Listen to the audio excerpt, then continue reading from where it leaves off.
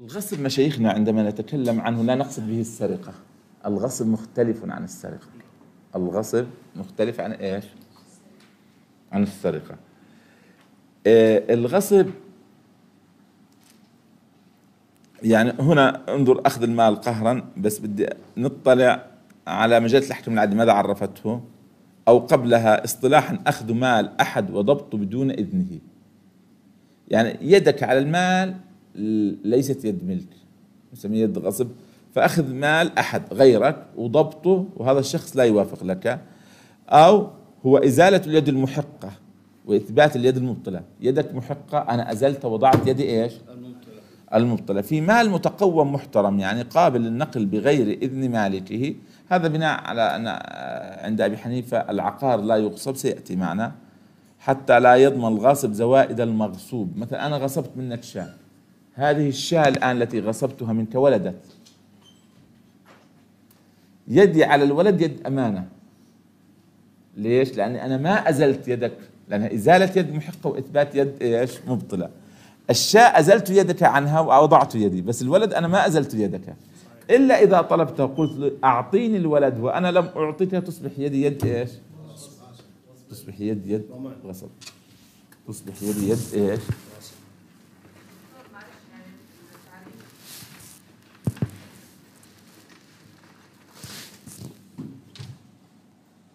إيش أختي؟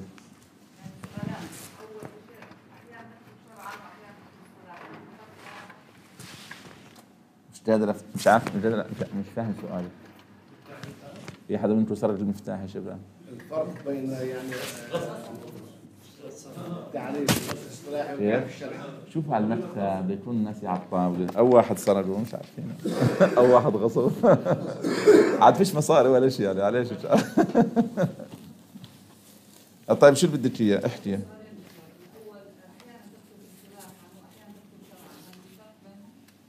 شيء طبيعي في اصطلاح كل شيء له اصطلاح شرعي واصطلاح لغوي.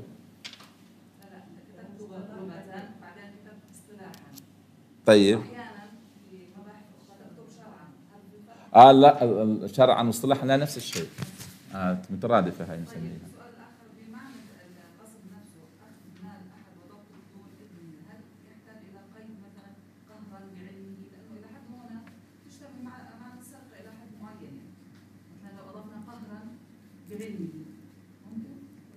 لا لا خليه زي ما هو. السرقة راح يأتينا معنا فيها. مختلف. السرقة آه، أخذ المال خفية من حرز له تعريف مختلف. أخذ نصاب السرقة من حرز خفية له شروط ضوابط مختلف. كل ما لا يكون سرقة يكون غصبا. آه. ما الذي لا تتوفر فيه شروط السرقة تعد اليد عليه يد إيش؟ يد غصب. السرقة ليست غصب لأن السرقة يترتب عليها قطع يترتب لها أحكام مختلفة. واخذ مال محروق يعني في حرز وملك نصاب وقصة السرقة وخفية يعني مختلفة. إيش يا أختي أسماء؟ آه آه آه. كله غصب. صحيح صدقتي. بالشركة غصب عام عام. يعني آه يعني آه. مثلا يعني يدك مجرد أنت استأجرت مني سيارة إلى جرش كملت بعد جرش لإربد صارت يد يدك يد غصب. مختلف. أو سجلت وما رجعتهاش. مثلا انتهت المده ولم ترجع غصب. واسع. بس هنا كنت أنا آه، آه، زوائد المغصوب الآن ما دخلت لأني أنا ما أزلت يدك. ركزتوا؟ بس إذا قلت أعطيني الإبن. وما أعطيت صار إيش؟ صار غصبا. الله. طيب.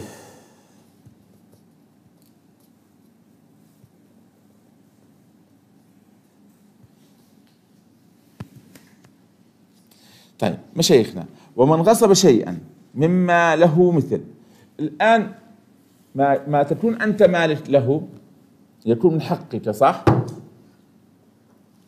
وطالما هذا الشيء من حقك لابد أن أرجع لك عينه ذاته.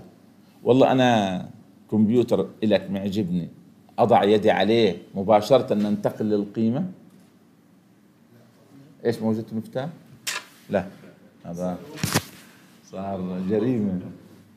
على الطاولة جنب الطاولة ورا الطاولة. طيب ف هي هون والله طلع.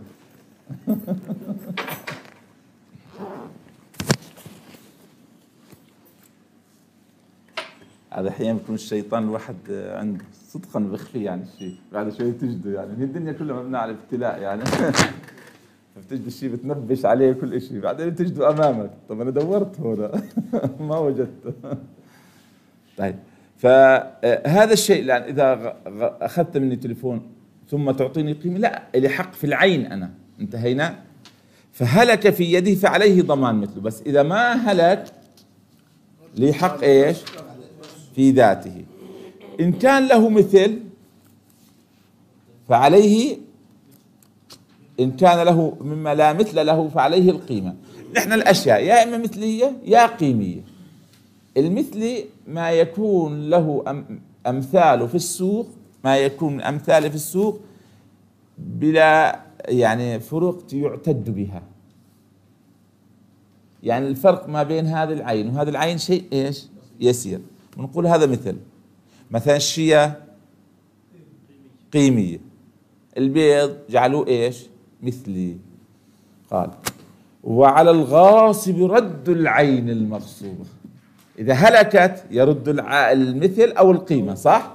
بس ابتداء قبلها مفروض إذا كانت العين موجودة إيش اعمل؟ رد العين. رد العين. طب ادعى هلاك. أنا قلت العين هاي هلكت. حبس آه، حبسه الحاكم حتى يعلم أنها لو كانت باقية لأظهرها يعني بضعه في الحبس وبنظر له. تعرف الحبس يعني الآن أو فيما سبق عادة نكون في الحبس يعني أشخاص جيدين. صح؟ فمجرد أن تدخل عندهم تعترف بكل شيء. فليست سهل الحبس يعني. شو؟ يعني حتى لا يدخل هذا الجو يعني البيئة الأشخاص الفاسدين الموجودين في الداخل. فتجد إيش؟ يعني أن يبقى أيام شيء مزعج. فإذا كان أخفاها ماذا يفعل؟ يظهرها. ثم قضى عليه ببدلها. والغصب فيما ينقل ويحول.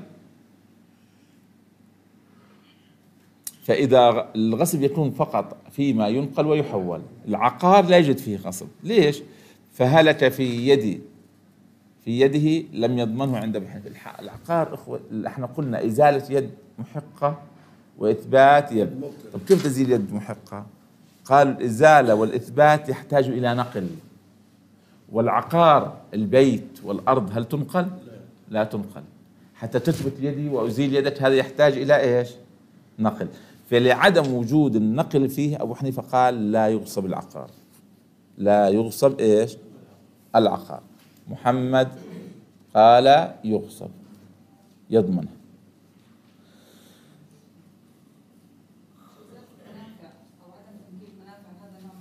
الآن سنة. وما نقص منه بفعله وبسكناه الآن أنا لا تعد يدي يد غصب. ولاحظوا العقار. نسبة الهلاك فيه كم مشايخنا العقار. نادر جدا يعني. نادر جدا. أنا الآن يدي يد أمانة.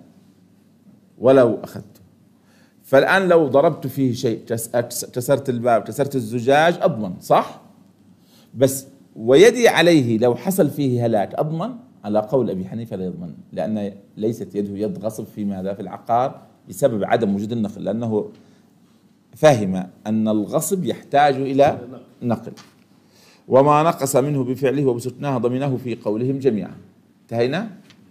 وإذا هلك المغصوب في يد الغاصب انتهينا مشايخنا من قضية العقار وأنه لا يقع عليه الغصب لعدم النقل ويقع على غيره لكن إذا هلك شيء فيه يضمن.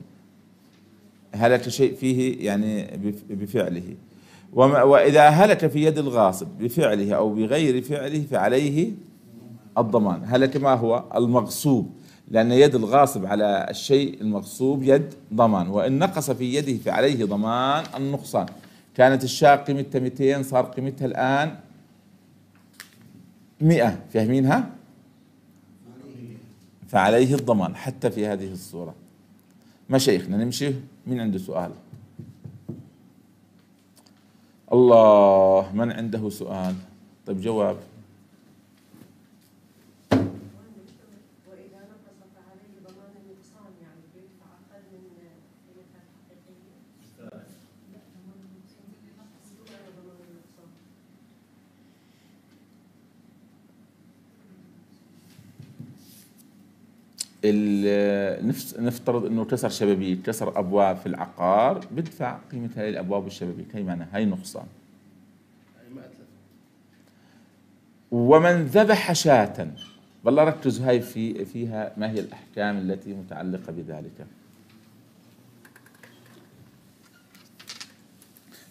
احضروا لانفسكم عشان تصحوا كمان أنتم يعني. هات مي كمان. ننسى بنصحيهم يعني. مش عندي حل. يشرب شاي قهوة لو يصحى طيب. آه الآن مشايخنا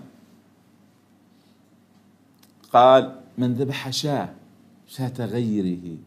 من ذبح من ذبح شاة غيره فمالكها بالخيار. يعني شاة ليست لي لك. طبعا أنا ممكن أخذتها عمدا ممكن خطأ ظننتها شاتي فهمناها؟ فالنتيجة كله إيش؟ غصب. انت إذا كنت تعمدت نعم في إثم مؤاخذ بس إذا كنت اخطأت ممكن مثلا أرض لك. وجبت مساح صاحي كثير. قال لي هاي أرضك بدل أرضك. وبنيت. وبعد البناء وهي بتحصل كثير. بعد البناء تبين اني أنا باني في أرض إيش؟ جاري. والأرض ثمنها مئة ألف وأنا بنيت بيت كلفني خمسمائة ألف. قصة صح؟ هذا غصب. أنتوا لاحظتوا الغصب أوسع ها؟ واسع كله هذا غصب. سيأتي معنا حكم مثال يعني. فالآن أمامنا ذبح شاة ممكن يكون عمدا ممكن يكون خطأ. ذبح شاة غيره مالكها الآن مسكين بنظر شاة مذبوحة وكان مبسوط على حليباتها والأمور. طب إيش إيش بدنا نعطي مالكها الآن قال إن شاء مالكها ضمنه قيمتها. قيمة الشاة هاي 200 دينار تفضل. وسلمها إليه. خلاص تفضل. وإن شاء ضمنه نقصانها. يعني هي قائمة ثمنها 200 بس مذبوحة 150 ليش أحيانا المذبوح يعني هذا يرجع للسوق يعني. قيمته أقل عادة. لأنه ممكن أنه أنا الشهي أستفيد منها آه، من شعرها من آه، لبنها من كذا. فالآن أصبح ما في منفعة عندي غير إيش؟ اللحم مثلا. طب مش هذه يعني تنظر لصاحب الشاة وذبحها يا شيخ شو بدنا نعمل لا هو اللي ذبحها ال- الغاصب تمام؟ أنا الآن ذبحت شاتك. مضبوط مش عارف ظنيت عندي شاة مثلها. طب ذبحناها. افرض إنه كان متعمد ذبح خلينا الآن ن- حصل الذبح وكان بها. طيب الآن حكينا لك أنت يا عمي مخير يا إما بتدفعني قيمتها؟ تمام. صح؟ وأنا باخذها؟ أعطيناك حقك ولا ما أعطيناه تمام. إذا كان مثلي أو قيمة صح؟ خلص وأيضا أنت مخير بشيء ثاني. تأخذها. آه أنا أخذها. أخذها؟ صاحبها. يأخذها وأنا أدفع لك نقصان ما بين قائمة ومذبوحة. طيب شو؟ دللناك يا شيخ.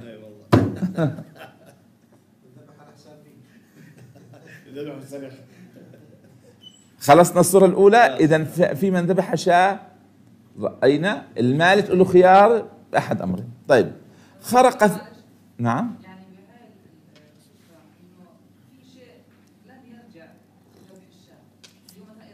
المالك. صاحبها مش الغاصب المالك. صاحبها نعم. آه مالكها يعني في شيء لم يرجع له اللي هو مثلا اذا كان ماخذها للمنوحة والحليب وهاي الاشياء هون حتى لو دفع له ثمنها يعني يعني مد- آه، دفعنا شيخ إنشاء ضمنه نقصانها دفعنا فرق الحليبات وإن شاء ضمنها انه شيء يومي هو مستفيد منه فقط شيختي ها دمزع الصفحة وارميها أعطيني حل آخر. يعني ماشي. إحنا أعطيناكم حل. واحد ذبح شاة آخر. قلنا يا إما كذا يا إما كذا صح؟ تفضلوا أعطوني حل الحل المناسبات لو باع اللحم والسمعان فرق بيشتري شيء حلوب وبكمل حياته مثلا. فأعطيناه يعني أعطيناهم حلول هم يعني بس بدهم يحكوا يعني كأنه صح؟ شو؟ يعني نتيجة أنا أعطيت حل. عندكم حل غيره طب امشوا. خرق ثوب غيره. خرقا يسيرا. ضمن إيش؟ نقصانه. يعني السجارة شوي لذعت الثوب عندك. ده الثوب الثوب لا أنا ما حكيت ثقبته هيك عملت فيه شوية لون يعني. طيب هذا الشيء اليسير لاحظ. إذا شيء يسير مع الثوب بنلبس بس يا عمي كنت تروح فيه على المناسبات المناسبات. صرت نص المناسبات تروح عليه يعني اللي تمشي اي حال يعني آه. بطلت تروح فيه على المناسبات صرت تروح تزور أختك بطلت تروح ماشي. فالآن ثوب نقص كانت قيمته مثلا كانت قيمته 100 دينار هاي الثوب. أصبح الآن فعليا بيساوي 70 دينار بيساوي 50 دينار يعني ما عاد تقضي فيه.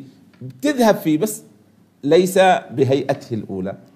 طب كم فرق بين الأولى والثانية؟ 50 30 دينار تدفع. فين حاجة؟ ففرقنا ما بين الخرق اليسير والخرق الفاحش. الخرق الفاحش ما عاد هذا الثوب إلا ينلبس في البيت. خرجوا عن منافعه ما عاد يساوي إشي. لاحظتمها. وانخرق خرقا كبيرا يبطل عامة منفعته. فللمالك أن يضمنه جميع قيمته. آه عاد. والله في ثقب هيك. صار مثقوب يعني مستهلك شيء من عينه. قبل قليل لا يعني توسخ وسخ مثلا بنضفش مكان البنت به بشوفه. لكن يمكن أن يلبس لكن ليس بالهيئة الأولى صار ضمان نقصان. لا إن أزال منفعته عامة منفعته.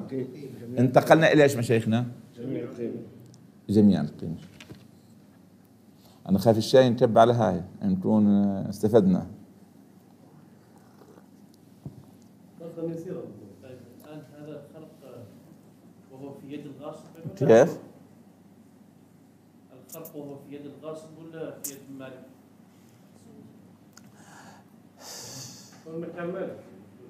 الثنتين. الشيخ سأل شيء. ممكن أنت لابس الثوب أنا فعلت فيه هذا الفعل. بس بدنا يكون هذا الفعل إيش؟ يعني ماشي حتى لو كان خطأ. أتحمل في الخطأ والعامد أتحمل. وفيما لو أنا أكون لبست قميصك لبست ثوبك وفعلت فيه هذا الفعل. ترى في الحالتين والله أعلم ما نشترط التعدي والتقصير اذا كان في يد المالك؟ يعني أنت ثوبك الآن حتى لو أنت كنت لابس الثوب وأنا بفعل مني فعلت في ثوبك هذا الفعل. أتحمل صحيح؟ نفس الشيء. لا يختلف الله أعلم. يعني الله أنا ما رأيت يعني فيها. طيب. وإذا تغيرت العين المغصوبه بفعل الغاصب. لا الآن نتكلم العين كانت شيء وصارت شيء آخر. حتى زال اسمها وعظيم منافعها. زال ملك المغصوب. عنها وملكها الغصب. الآن حالات قبل قليل. لاحظتم قلنا ضمان نقصان ضمان جميع القيمة رأيتم؟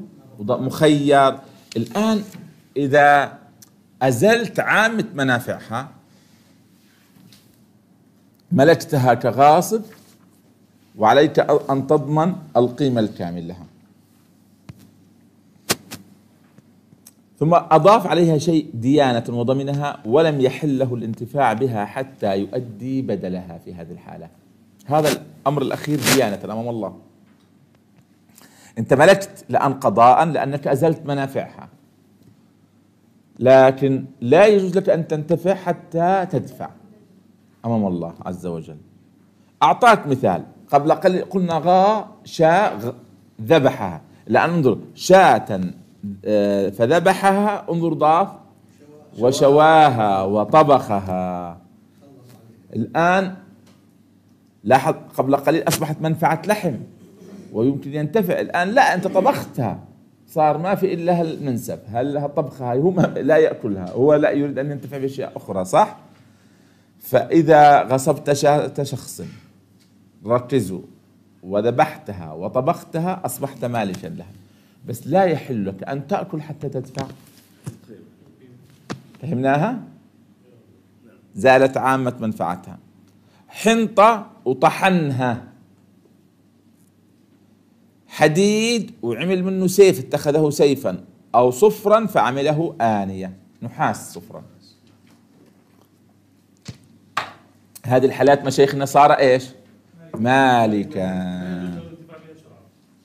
إلا أن يدفع إيش؟ بدلها. والإرضاء يرضيه يدفع بدلها ويرضي في الأسفل مكتوب عندكم. مشايخنا. آه مشايخنا. آية. كويس الأمور. وإن غصب فضة أو ذهبا. غصب إيش مشايخنا؟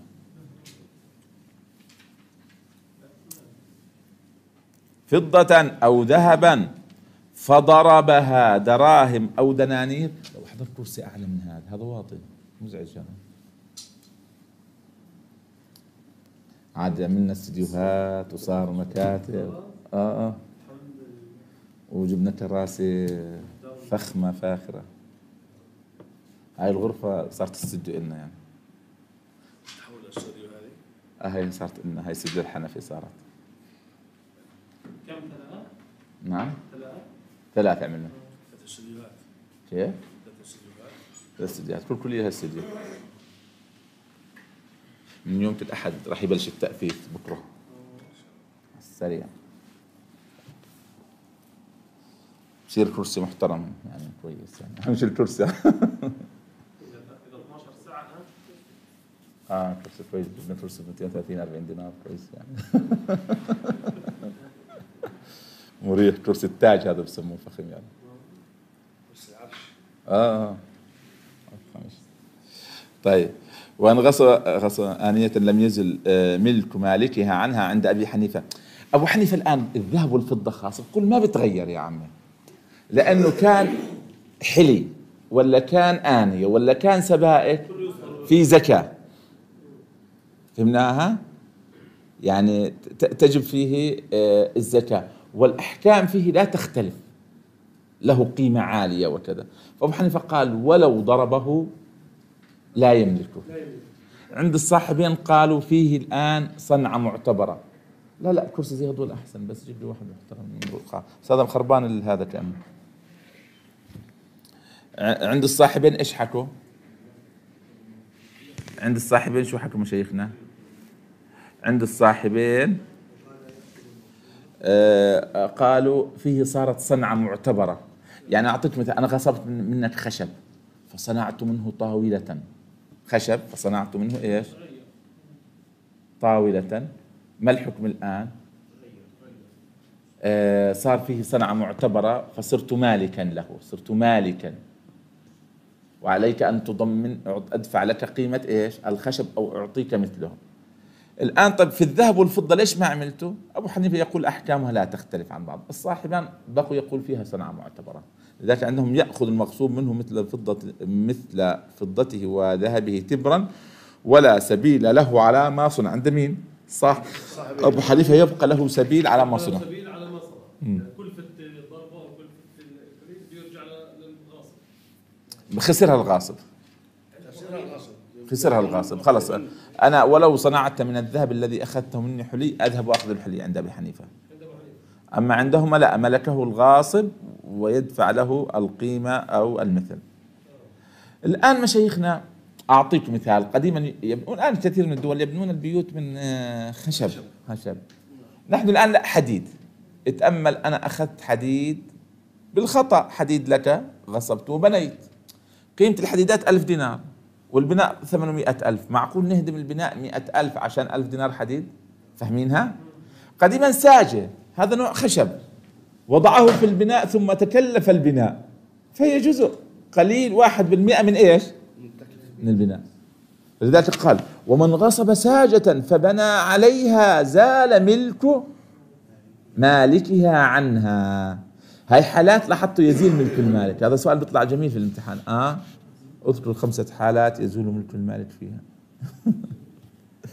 ولزم الغاصب قيمتها عند مين؟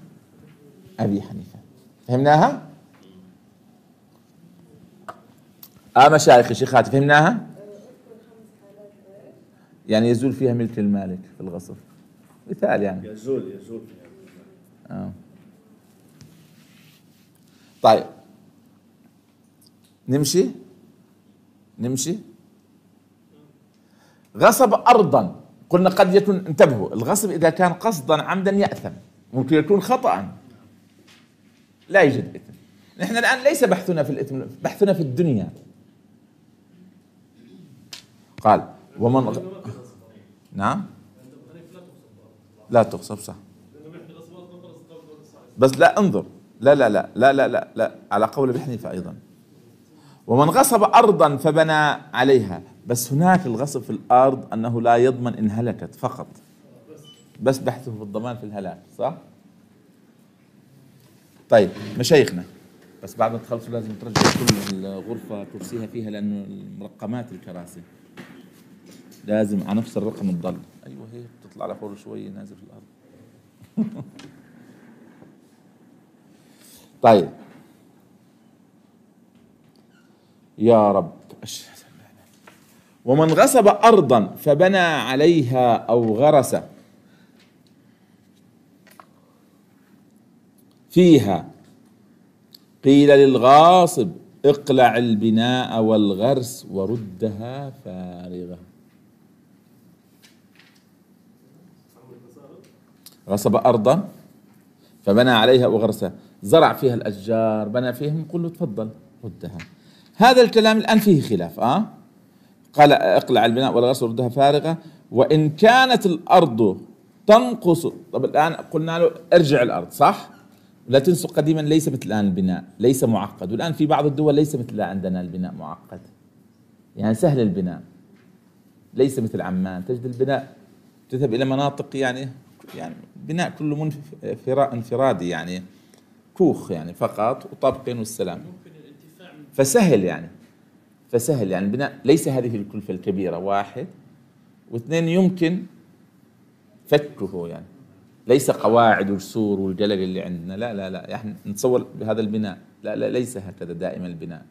الآن حتى أكثر البناء في الأرض ليس مثل البناء عندنا آه فقط البناء العمارات تجد المجمعات الكبيرة في الدول هكذا. أما البناء الشخصي لا. آه شيء مختلف يعني. طيب فالآن بنى في أرض غيره أو أو أو زرعها بنقول له لا رد الأرض. إن كانت الأرض تنقص بقلع ذلك الأرض تنقص بقلع ذلك ما الحكم؟ للمالك أن يض- يضمن له قيمة البناء والغرس مقلوم ويك- ويكون له البناء والغرس. يعني أنت غصبت أرضي ووضعت فيها بناء أو وضعت فيها غرس. لو أنك قلعت راح تنقص الأرض أستطيع أن آخذ منك البناء والغرس جبرا. بس أعطيك قيمته مقلوعا. وهاي شرحناها قديما تذكرون؟ لاحظ أنا أخذت الآن ملكه جبرا بس لأنني أتضرر فهمناها؟ طبعا الآن في قضية البناء هنا لم نذكر النقاش هذا. بس مذكور في اللباب وغيره يوجد تفصيل. إذا كانت قيمة الأرض أكثر من قيمة البناء وكذا فهمناها؟ في مثل هذه الحالة ممكن نأخذ بقول آخر في المذهب عندنا بحيث يبقى الأرض لمين؟ للغاصب ويضمن للمالك القيمة أو المثل. فهمناها؟ فهمناها مشايخنا هكذا. ومن غصب آه، ثوبا فصبغه أحمر. أو سويقا. لاحظ ثوب قماش وضعت عليه صبغة. فصار جزء من مالك على الثوب. سويق طحين وضعت عليه إيش؟ سمن. فاختلط مالي بمالك. انتبهتم؟ فصاحبه إن شاء ضمنه قيمة ثوبه ثوب أبيض ومثل السويق وسلمها للغاصب صح؟ يقول له أعطيني مثل قيمة الثوب. وخذ هذا الثوب. أو إن شاء أخذها وضمن ما زاد الصبغ والسمن مين أخذها؟ المغصوب منه. يا إما الغاصب يأخذ ويضمن له الغاصب قيمة الثوب. وإما إيش؟ يأخذها المقصود منه. يأخذها المغصوب منه. ما زاد الصبغ والسمن. فيها شيء؟ آه ما شيخنا سهلة؟ سهلة؟ طيب.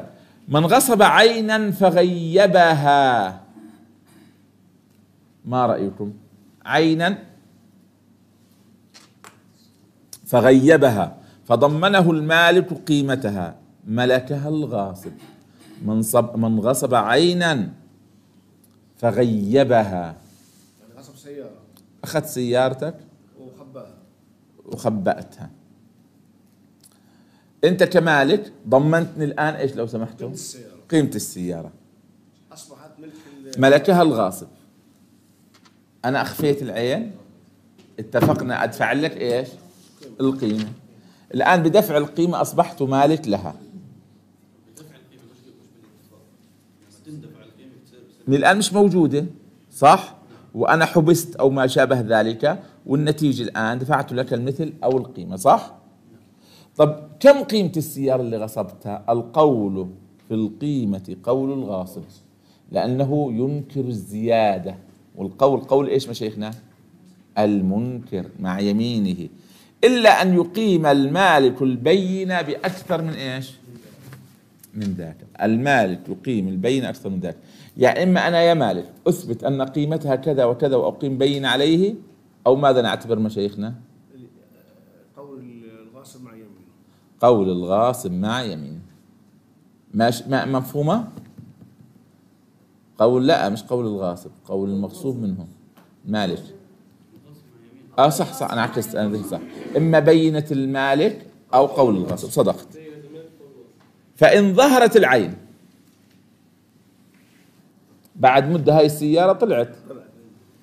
وقيمته أكثر مما ضمن. ضمن خمسة قيمتها ستة. وقد ضمنها بقول المالك مش قول الغاصب. المالك قال له قيمتها كذا وأخذوا به. أو ببين أقامها المالك أو بنكول الغاصب عن اليمين فلا خيار للمالك. لأنها أصلا هي بقولك صح؟ لاحظ قال بقول المالك أو بين أقامها المالك أو إيش؟ بنكول الغاصب في هذه الحالات هل يدفع له زيادة؟ لا. وإن ضمنها بقول الغاصب مع يمينه فالمالك بالخيار. إن شاء أمضى الضمان وإن شاء أخذ العين ورد العوض. إن شاء أمضى الضمان وإن شاء أخذ العين ورد العوض. مفهوم أنا ما شرحته لأن ما بعرف رأيت الأمور سهلة واضحة ما رأيكم؟ لأن هنا بقول المالك وهنا بقول مين؟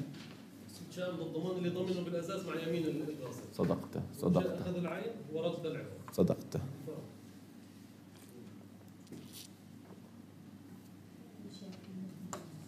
احكي يا شيختي.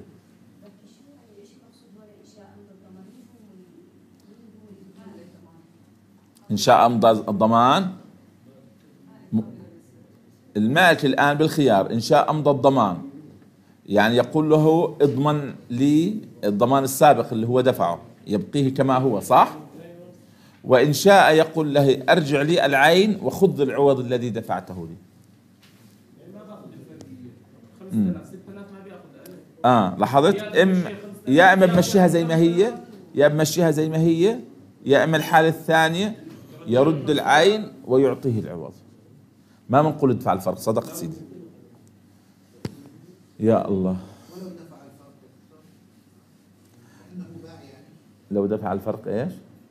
يعني مصطلحات على دفع الفرق سيدي هذا قضاء. إذا تراضيا إحنا في التراضي لو أعطاه إياها كلها ما بنتكلم. هنا بحثنا عباراتنا كلها عبارات نزاع.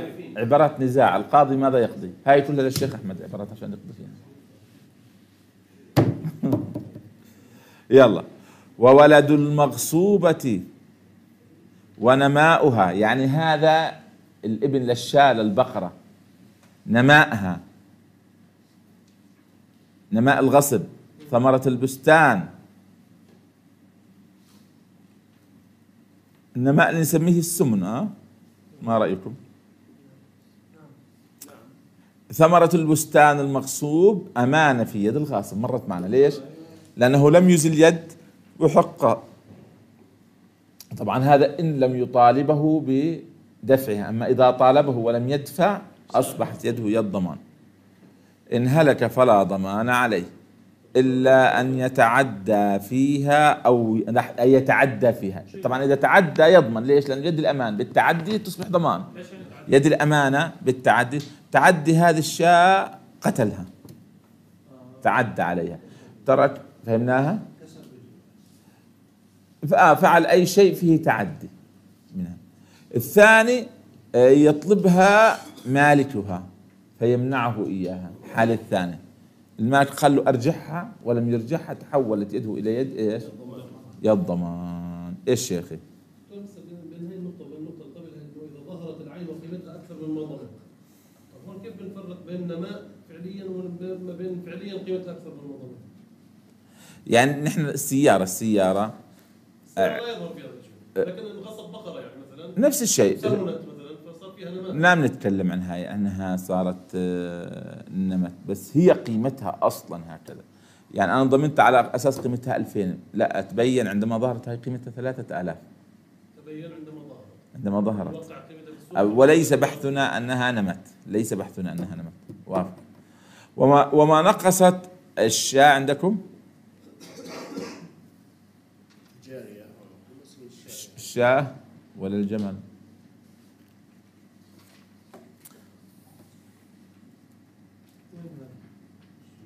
مش موجودة عندكم؟ خلاص هي عبيد كلها انسى خلاص. عبيد. تصلح بس عبيد. هاي نسأل بس سريعا. الجارية.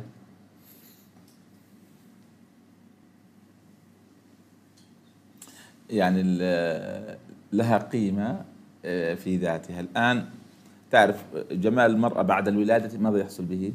ينقص يعني.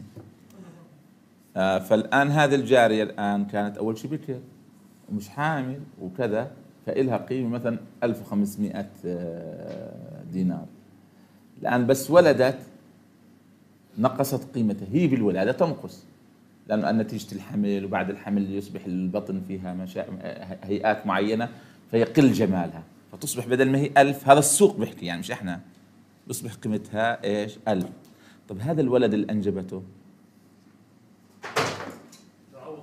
يعوض نقصان قيمتها فاهمين المسألة؟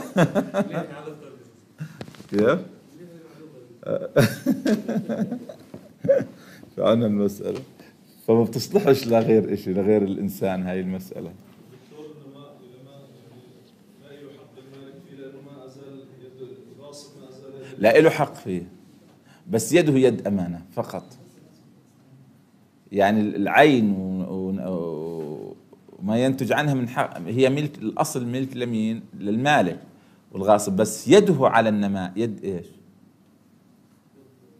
أمانة. وليس يد إيش؟ ضمان بس. آه يجب أنه يعيد الكل. قال ولا يضمن الغاصب منافع ما غصبه. ولا يضمن الغاصب منافع ما غصبه إلا أن ينقص باستعمال باستعمال فيغرم النقصان.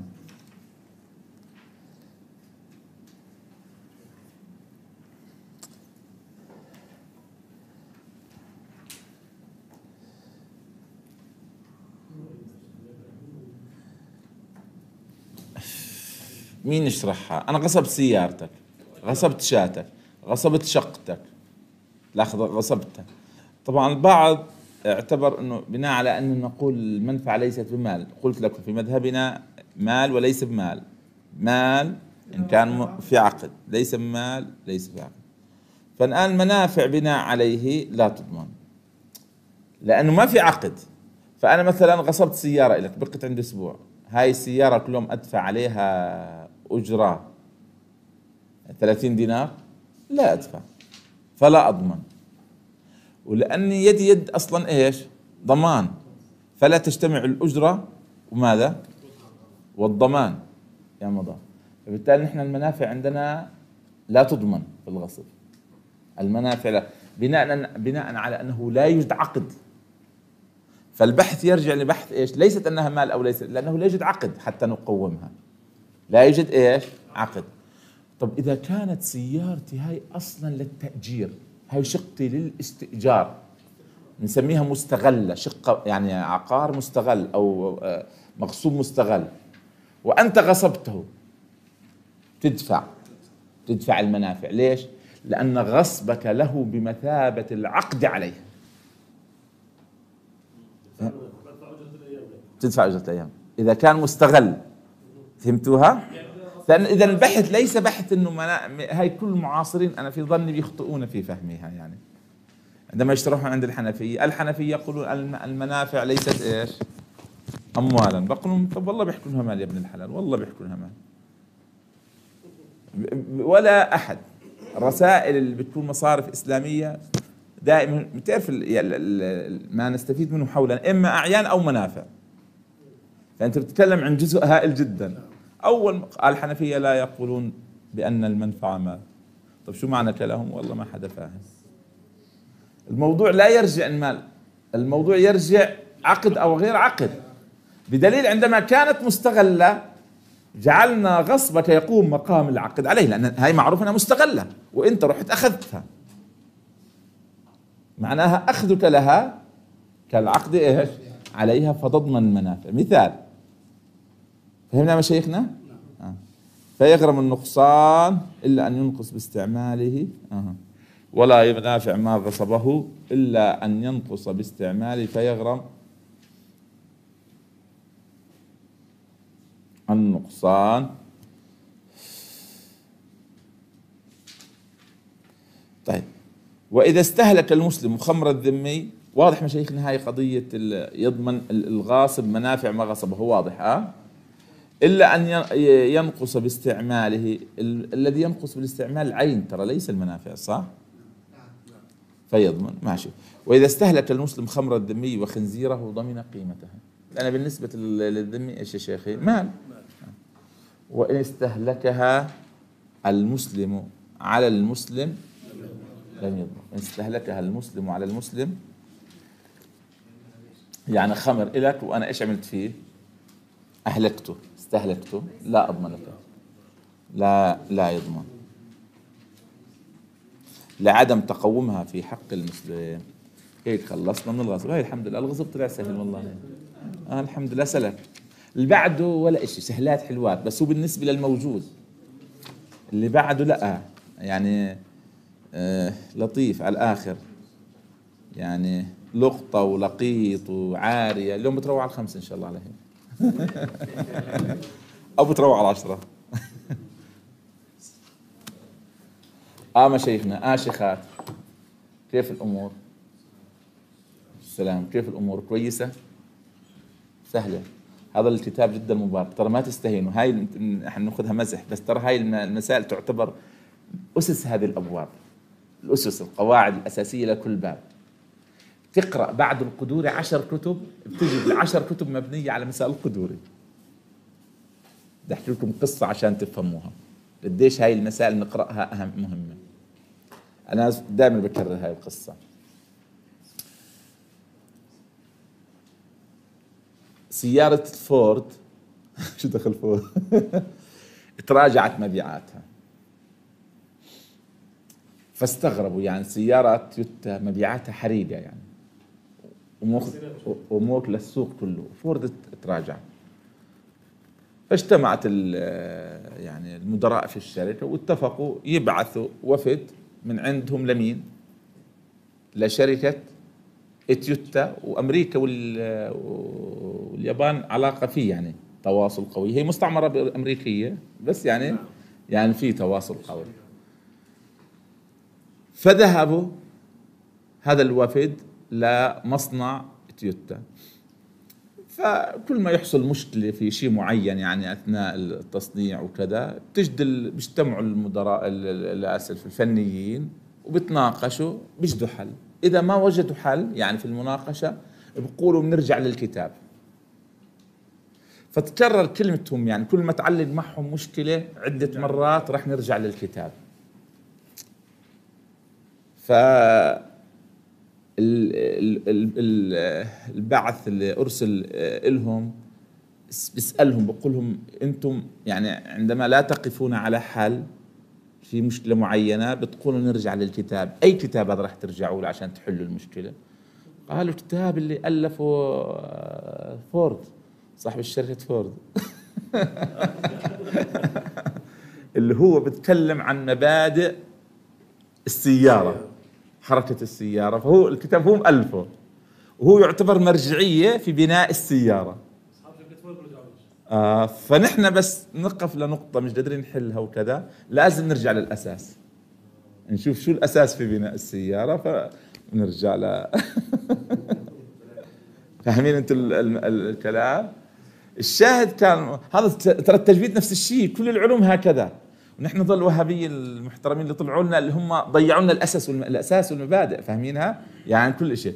فنحن الآن في الفقه الحنفي صدقا هذا الكتاب بس جاء صاحب الهداية صاحب الهداية من أعظم علماء الحنفيه بس جاء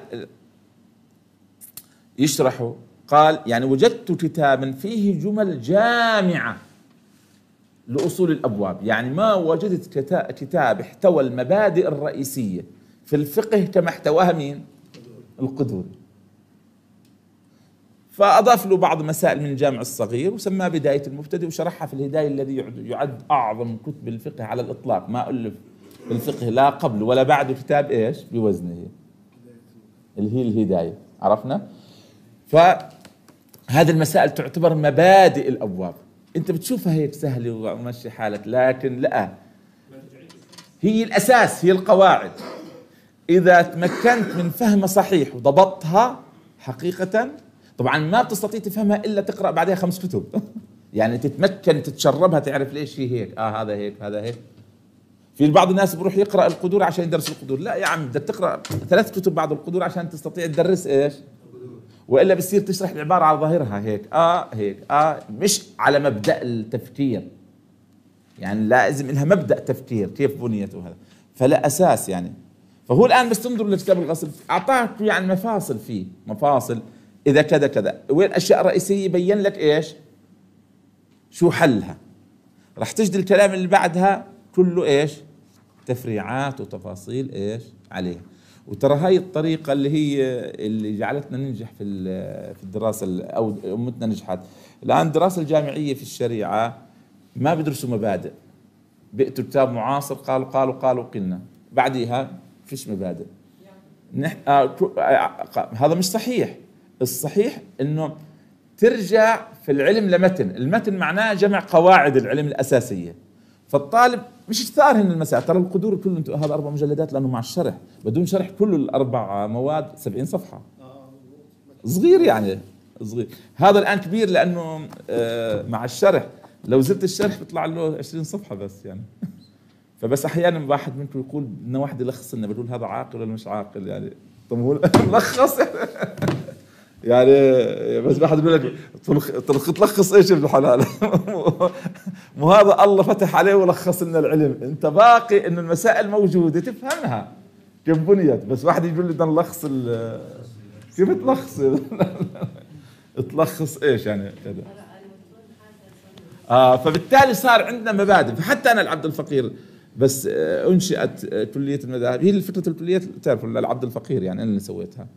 آه ف فأنا طرحت زي يعني كانت الفكرة بقول لهم يعني لازم نمشي على الطريقة القديمة اللي هي دراسة عموم ثم خصوص نحن نسميها. يعني أول شيء ندرس المسائل كلها من متن كعموم ثم هاي المسائل الخصوص نبدأ نفرع ونفصل عليها.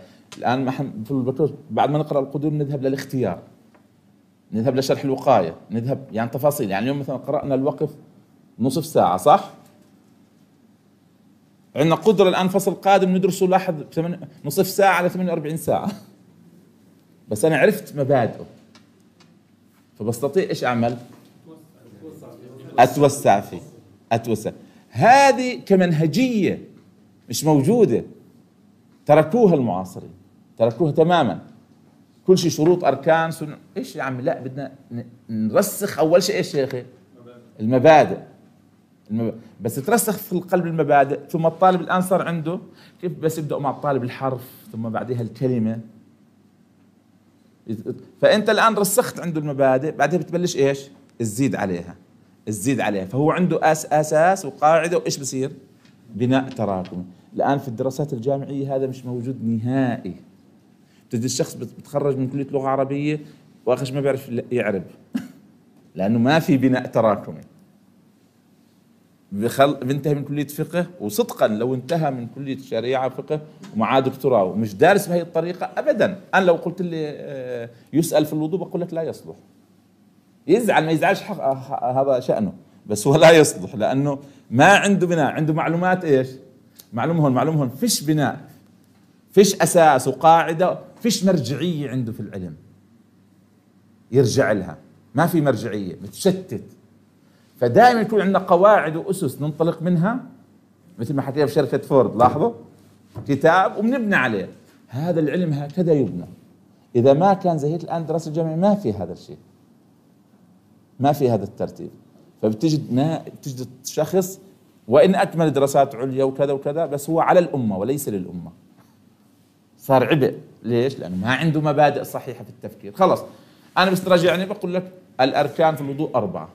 النواقض سبعة مثال. السنن عشر خلص هذا أساس. هو ما عنده أساس إيش الأركان؟ فاهمينها؟ فبالتالي كيف بدي استفتيه في الوضوء؟ وهو ممكن يحكي عن ناقض مش ناقض عن ركن مش ركن عن سنة آه، ما ما عنده تمييز. لا أنا خلص واضح. هذا هيك هذا هيك هذا هيك هذا هيك هذا هيك هذا هيك. آه، مفهوم بس هو ما عنده أساس. فاهمينها أساس تفكير ما عنده. فذلك أصبحت هذه الدراسة وبال وبال على الأمة فيها مهلكة. بس أنا كل برجع لكم إنه في كل علم لابد أن نرجع به إلى إيش؟ أسسه. بدون أسس علم بدون مبادئ. وهذول المحترمين الآن طلعوا لنا في السوق. يعني ما في أسس ما في مبادئ. ما في مبادئ. بس كان ما في مبادئ صار الإسلام بس لحية وثوب وطاقيه وكشرة وكبر وقطع رؤوس. لأن ما في مبادئ. في شيء صحيح. امبارح بسمع على هذا صالح مشهور عنه صالح مشهور؟ اسمه مشهور؟ صابر مشهور. كيف بيحكي عن ش... آه آه. فبتكلم عن شخص مشهور عندنا في البلد بتعرفوه كلكم بقول عن التمذهب إنه أنا الآن بدي اقرب السنة للعوام في مواجهة أعداء السنة. من المذهبيين. والاشاعره والصوفية وغيره. صحفي وصل إلى هذا. آه لا لا بيحكي عن الشخص اللي عنده مات في الأردن هذا. أعداء السنة. لاحظ اللي, اللي جعلوا من السنة قواعد ومبادئ وعلوم هم أعداء السنة. هؤلاء المتلاعبين اللي ضيعوا الإسلام وجعلوا عبارة عن إيش؟ حركات متطرفة إرهابية. أعداء السنة. أعداء السنة. آه أنا قلها حاط النص بقول لك انظروا. أعداء السنة. تعرفوا أنتم طبعا إيش؟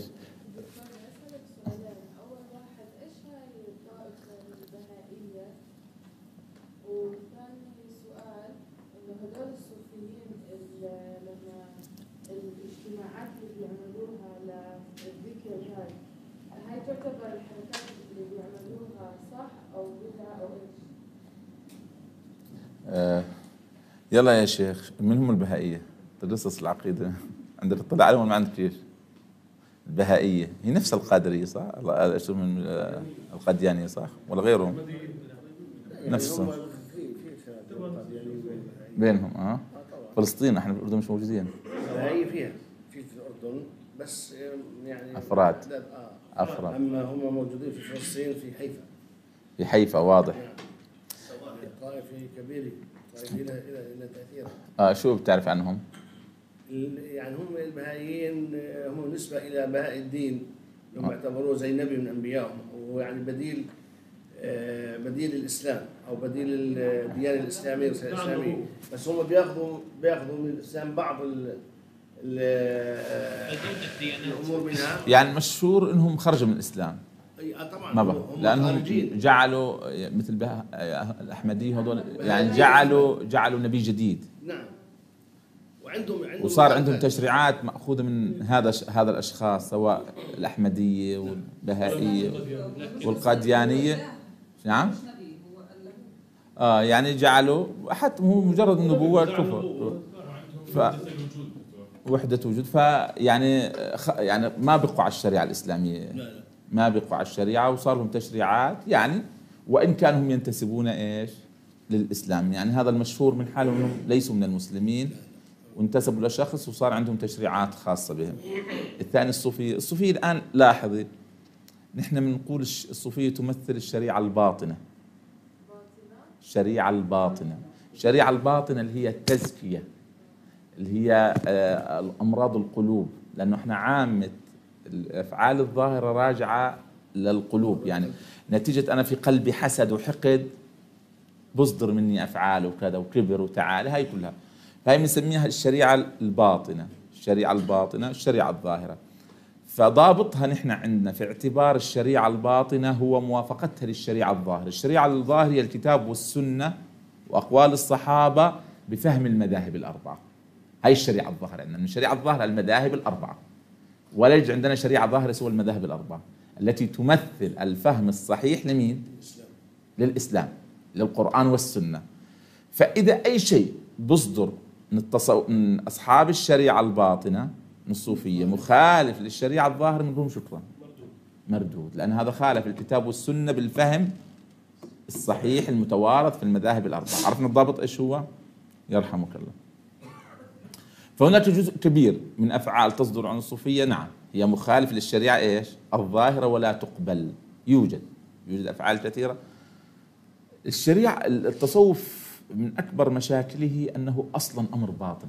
ولما كان أمر باطن يمكن للناس أن يتزلفوا ويدعوه ولا يعرف حالهم.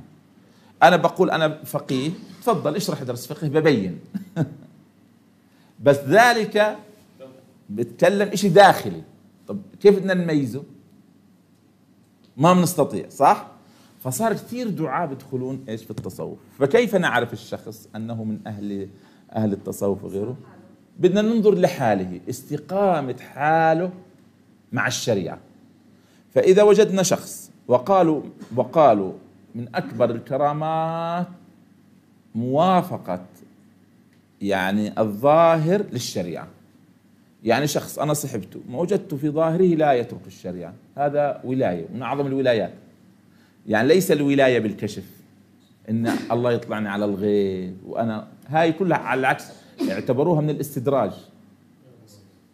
فالإنسان لا يغتر الإنسان ولي لأن الله أطلع. لا هذا ابتلاء ابتلاء من الله عز وجل. ممكن يكون كرامة ممكن يكون إيش؟ ابتلاء ليس شر. أبرزها الاستقامة. الاستقامة على الشريعة الظاهرة. ولا صححوا المشايخ إذا بحكي خطأ. أبرزها الاستقامة على الشريعة الظاهرة. بننظر لحاله. بننظر إيش؟ لتلاميذه لمن يربيهم. هل هم أصحاب صدق واستقامة؟ لأنه بيظهر الإنسان أثره في مين؟ في من حوله. فهذا دلالات بتدل على أنه إيش؟ صادق. أما إذا وجدناه يجمع المال أو يجمع النساء حوله آسف الكلمة أو ساعدوني شيء آخر آه، وجاهه في عنده تعالي. يخالف الشريعة الظاهرة هذه عليه علامات إيش مباشرة؟ استفهام. الآن أنا ما وصلت لهي النقطة. أنتم سبقتوا بس أنا بحاول إحنا هون نركز لكم مبادئ التفكير. زي القدوري ها؟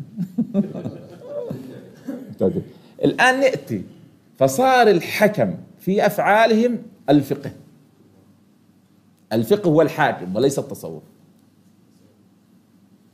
كل فعل من افعالهم اذا الفقهاء وافقونهم عليه كان به وإن ما وافقونهم عليه ملغي لا نقبل حكمهم هم مق... يعني مقتادون للشريعة الظاهرة، الشريعة الظاهرة من هي؟ الفقه الفقه هو الحاكم في الدين، فاهمين مشايخنا؟ فهمنا؟ ممكن يرجع الفقيه في السلوك عادي ما فيها مشكلة. آه نأتي الآن للحركة اللي هي القصة الكبيرة في الأردن يعني الحركة. الحركة هل هي ممنوعة شرعا؟ فيها خلاف فقه. الحركة الدروشة هذه ليش تعترضوا عليها؟ هي مختلف فيها بين الفقهاء. السيوطي له كتاب في جوازه شاذلي كان.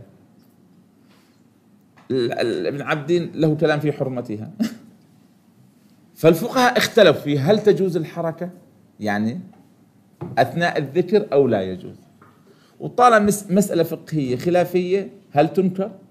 لا تنكر. فهاي الحركة اللي مقومين الدنيا عليها هي أصلا مسألة فقهية خلافية. الفقهاء اختلفوا. الفت كتب كثيرة في جوازها. من قبل كبار علماء لهم فلماذا تقيم من الدون ولا تخ... شو؟ إيه، طبعا كله يعني مثلا استدل بعضهم قياما وقعودا. قياما هي حركة مثلا. قياما. آه مثلا قياما وقعودا مثلا قال آه قال بها. الآخرين مثل ما تفضلت يعني شيء غير لائق ومناسب وما في عليه هكذا. فالمسألة النتيجة فقهية مسألة فقهية إيش؟ خلافية. لا تنكر. لا تنكر. هي هي النتيجة آه، هم النتيجة بدهم آه، الشخص آه، يعني في أوقات يعني بهذه الحركة تمنعه آه، من انصراف ذهنه لغير الله عز وجل، يعني تساعده في أن يبقى في هذه اللحظات مع مين؟ يعني هي ليست مقصودة كعبادة بالله لا لا لا هي ليست عبادة. مش إذا عباده خرجت عن كونها عبادة خرجت عن كونها بدعة. كون مش عارف شو معنى الكلام شو- يعني في النتيجة آه، يعني هم يفعلونها الحركة هذه من أجل أن يبقى هذه اللحظات فقط مجدود مع الله. فقط. هي شيء هكذا من هذا القبيل؟ الأمر فيها أسهل بس الآن نتيجة الفكر الوهابي المنتشر يعني في البلاد كبر من هذه الأشياء. فهمتوها؟ عظمها. يعني عظمها. اللي هم بيحكوا عن غيرهم أعداء السنة. طلع أبو حنيفة عدو السنة والشافعي ومالك بناء على ترتيب. هؤلاء اللي هم أفراخ اليهود والنصارى صاروا هم إيش؟ هم أفراخ اليهود والنصارى هم اللي صنعوهم. صحيح؟ إيش يا أختي؟ فهمتوا الفكرة إيش هي؟ فما ما بي لا, لا لا يشد فيها يعني. والله أنا ما بقدر أقول لجماعه عمرها ألف سنة أتركوا. أنا مين أنا بالنسبة لهم صح ولا لا؟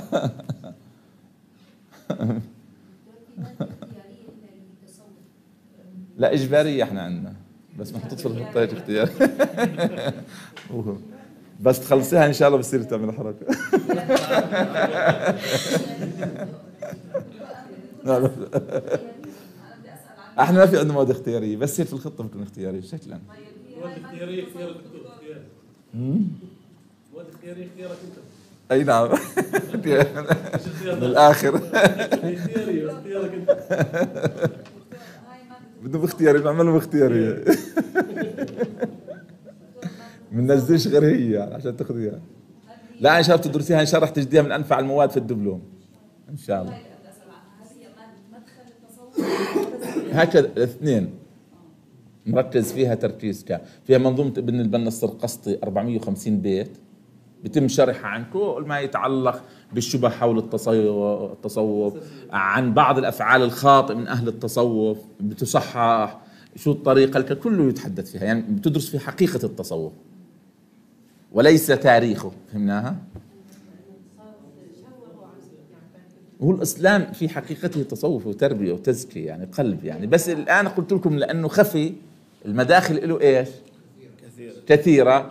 وأكثر الموجودين فاسدين. يعني أنا بحكي لكم يعني. أكثر الموجودين في الساحة مدعين له مدعينه عشان منافع أكثر الموجودين بس ولو كان هكذا هل نمنع من الخير من أجل الفساد؟ كيف أكثر المسلمين الآن حالهم سيء؟ ولا لا؟ شو دخل ال- الإسلام في سلوكيات الناس؟ على العكس الآن تجد شعار عند عامة المتصوف التكبر والعجرفة طب شو شو دخل التصوف هم سيئين إيش نعمل صار طريق لهم. بس ما ما معناه نلغي إيش؟ ان اداه التصوف. لأنه لابد منه. على العكس هو إحنا بنقول 80% من الدين. حلو هاي. أنا بعكس لك إياها. 80% لاحظ المعادلة كيف بكتب لك إياها. 80% من علوم الإسلام فقه. 80% من علوم الإسلام فقه. من علوم الإسلام فقه. بس حياة الفرد 80% منها تصوف. تربية وتزكيه فهمنا؟ بس هي كعلم قليل. هي كعلم فيش 2% 1% يعني شيء قليل. بس هي كتطبيق أنت طول الوقت بدك تبقى صافي كيف تعالج قلبك كيف تعالج نفسك كيف صح ولا لا؟ هاي أكثر إشي بيأخذ منك إيش؟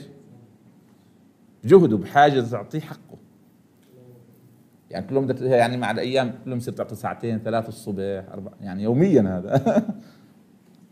وانت في اذكار وانت هذا غير السلوك اليوم المرخص جزء كبير من تطبيق العملي لحياتنا اللي هو إيش؟ أن تصل لمرتبة الإحسان، مرتبة الإحسان هي التصوف. تشتغل في التصوف بحيث تعيش لله. نحن وجدنا حتى نفعل هذا بس هذا شو يحتاج؟ جهد كبير.